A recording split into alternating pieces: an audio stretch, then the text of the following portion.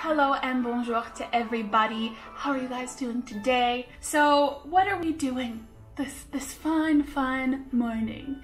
Today, I wanted to bring you guys a very simple, easy, and classic Christmas glam makeup. I've been seeing lately more and more these crazy, intense, over the top looks, and for some people, that's great, but others just want to do a nice, simple makeup. I was from that long, long ago era where makeup was just launching on the internet, on YouTube, so I got a lot of more basic and how-to tutorials, and that's kind of how I, I basically learned to do makeup. And I find that's a little bit harder to come across nowadays. So I just wanted to do a very simple, any standard neutral palette, Christmas glam. So you'll need some sort of a nude palette and basically a red lipstick, face do as you wish and I think most people have mascara and eyeliner. So my hope is that this is just a very simple and informative easy tutorial for a Christmas look for you this year. So I am personally going to be using the Iconic London Day to Slay eyeshadow palette but I just wanted to quickly drop in a couple of others. I have even more. You really just need your standard neutral palette, whether it's small or big. I think most neutral palettes nowadays have at least one or two browns and some sort of a shimmery gold. This, for example, is the Rachel palette from the Friends collab. And as you can see, we have a couple of browns, nudes, and I mean, it's a little bit deeper, but some sort of gold. Or as well, if you get Glossybox for last month, we have the, well, I forget what it's called, but this eyeshadow palette, which is it's so stunning. I still need to, I need to do some looks with it. But again, basically you have your couple of browns and a gold. So I think this look is universally accessible. Does that make sense? I'm blabbering on. Let's just get going on the look. But yes, I just wanted to give a lovely traditional Christmas glam. This is pretty much my go-to year to year. All right, guys, let's get going and let's dive in. So of course my face is already primed and I did a little bit of an eyelid primer on my lids, but basically we're gonna start as usual in the crease. So one tip I do have is people think, you know, when they're blending up the color that they have to start in the crease. No, just go completely deep into your crease as you can and just, and stay in there. That's it, just stay. And then with a cleaner brush or a lighter color, that is the stuff that you blend up. Don't directly add color up here. That's not gonna do you any favors unless you're going for that kind of dramatic look. But tip number one. So on that note, we're gonna start off with taupe de taupe, which sounds very much so like something that I would say. And that's going in the crease in the fashion that I just discussed.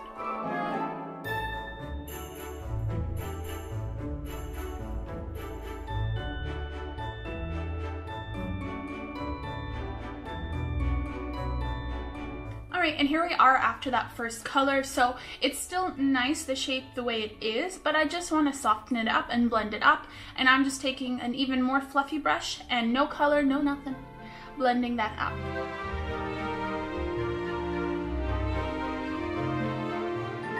And you can see the difference right away. This one, you can, excuse me, see the line. Here, you can't really, it, it softly blends away.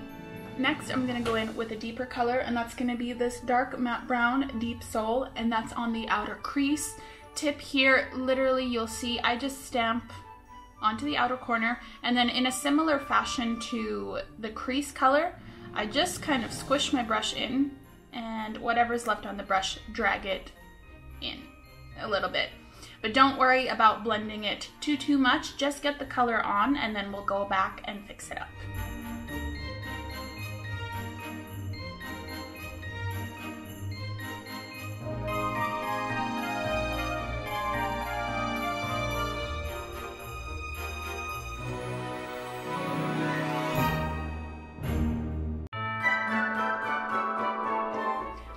And this is what we kind of have after. So going back in with that last brush and lightly touching the previous color, similar to the way we blended up the crease color, we're just gonna go on the very outer edge, hold the brush further away so it's a softer blend, and take your time.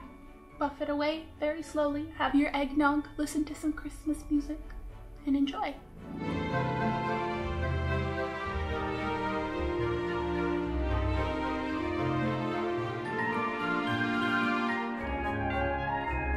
again. See? Awesome. Not so awesome.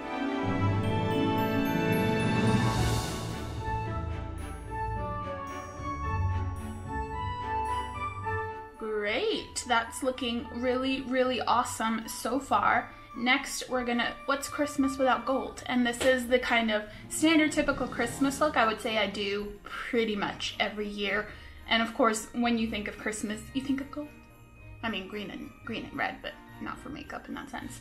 So we're gonna go in with the brightest, most yellow gold in this palette, which is 24 karat gold, and it, it sure is.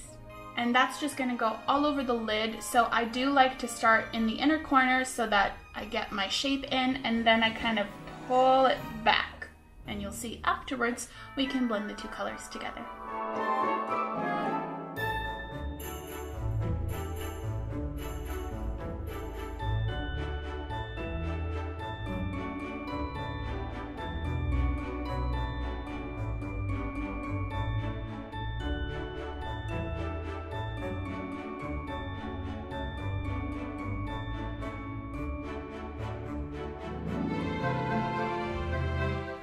Quick side note here, if this kind of yellow bright bright gold isn't up your alley, use whichever one you prefer. I mean, this palette alone has, what, four different tonalities, so whatever floats your boat, whatever works. I personally would probably have gone for something a bit deeper or more coppery. And back to that first brush, I'm not really putting any more color on it, just doing a little very light dabby dab to make sure it blends seamlessly into the outer edge.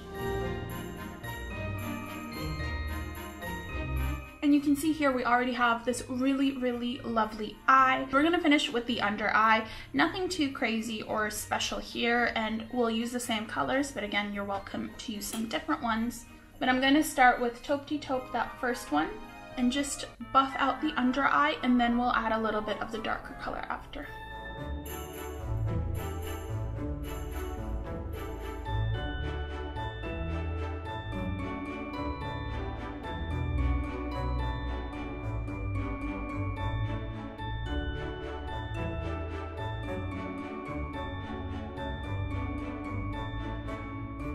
Alright, so what I did there was, again, using even the same brushes, gently buffed out the under eye and just added a little bit on the outer third half of that dark color because I don't want it to make my under eye too heavy. But overall, it kind of closed off the look, if you will. So last thing with eyeshadows, optional for you, but we're gonna do an inner corner color I'm trying to think which one I would really like. This one is a bit bright. I'm gonna mix, have some sort of a champagne gold color. And depending on how bright you want it, oh my goodness, I put a lot on. But it's Christmas! Just, you can use a brush, you can use your finger. Sometimes I like using a finger and whatever's left over, I typically do the whole nose and upper lip situation. Next, totally optional. I don't always do it, but I thought I would for today. If you have a kind of nude eyeliner, I'm gonna put that in my waterline today to just really open up and brighten my look. I feel like Christmas looks should be a bit more fresh and bubbly and fun, but you know, whatever floats your boat.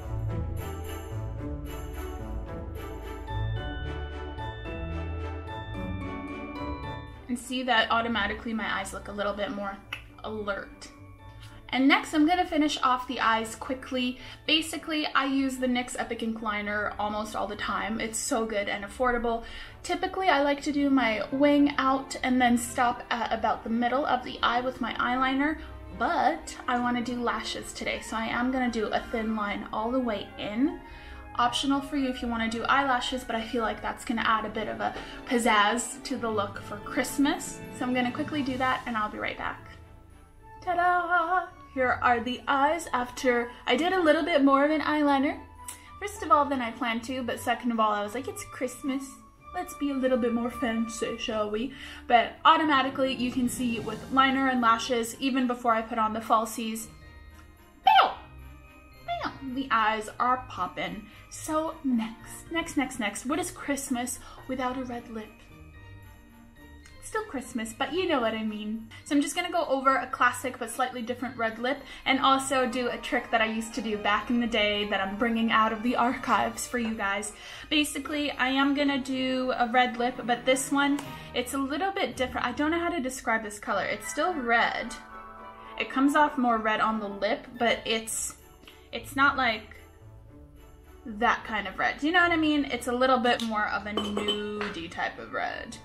But it still works. It still turns out fabulous. And I'm gonna line my lips with the same color and let's get going.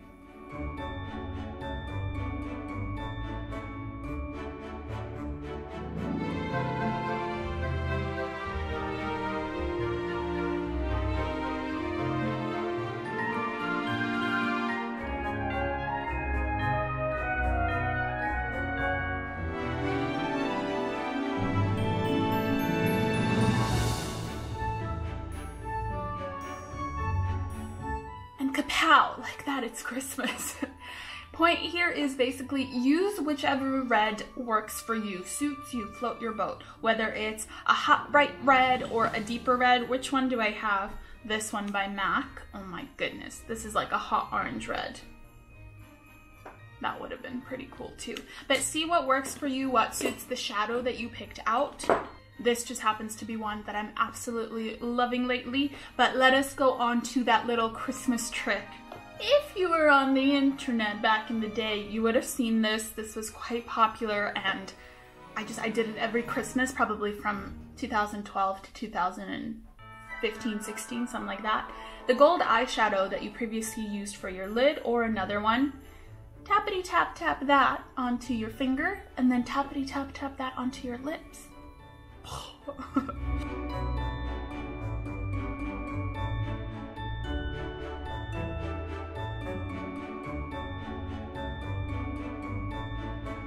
now the amount you put on is up to you. I'm seeing little chunkies, so I'm doing my best to pat them out. And then if you like, you can go back in with the lip liner or the lipstick and just color in some patches that are a little too gold. But for the most part, try to focus that on the middle of the lips and it just gives this really subtle, lovely golden glow. And your look is complete.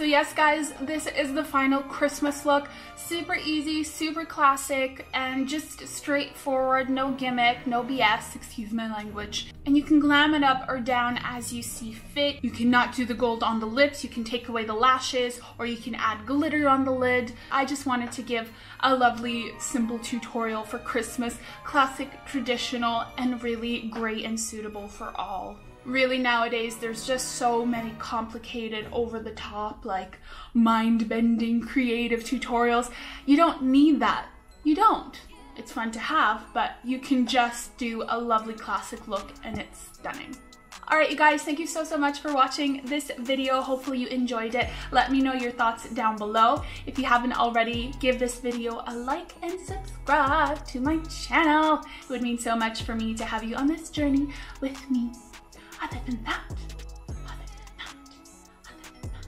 you can catch me on social media at Slavic Chic.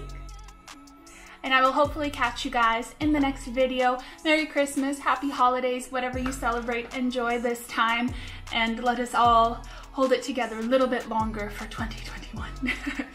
Bye!